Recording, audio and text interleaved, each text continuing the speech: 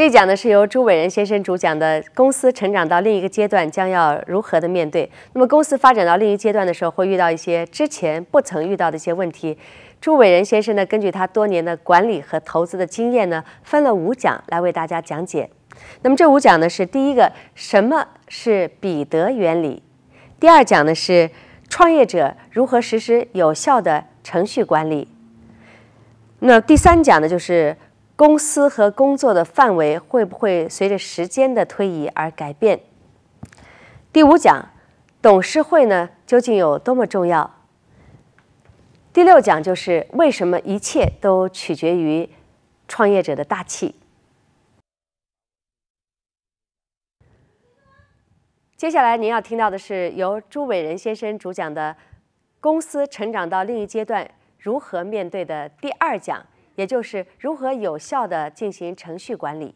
呃，首先呢，我我是觉得每一个企业啊，不管是小到大，都有一个呃一个相对的一个情形，因为很多很多企业，在这个在发展中的国家，你做任何事情，他只要把追到世界的标准就可以了。但是已经达到这个这个这个饱和点，或者是已经达到了一个成熟点之后啊，你要再继续下下去的，就必须要有两套人在里边。一套人就是说他是创业家，一套人就是专专业管理的人才。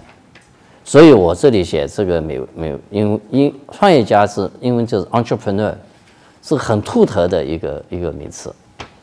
那么另外一个呢，他要程序的管理。我下面就是说，创业家他要从模糊的里边走出一条新的路，他要有突破，他要有创新，他有跟大家。大家走那条路的时候，他可能是走另外一条路，但是这另外一条路的话还是模糊的。但是呢，很多时候呢，这些小公司给他有突破的时候，就开始有成长了。但是呢，另外一一件事情呢，这个你是全创业的人呢，他是样样都要突破，他要创新。他要反常理，这个公司呢，通常一般来说呢，就是说，不是模，不单指这个前面是模糊啊，整个公司是混乱的。那么呢，你那时候就需要有管专业管理人，要在这里边，要把不同的程序要做出来，要把这个章程要做出来，要有条有理。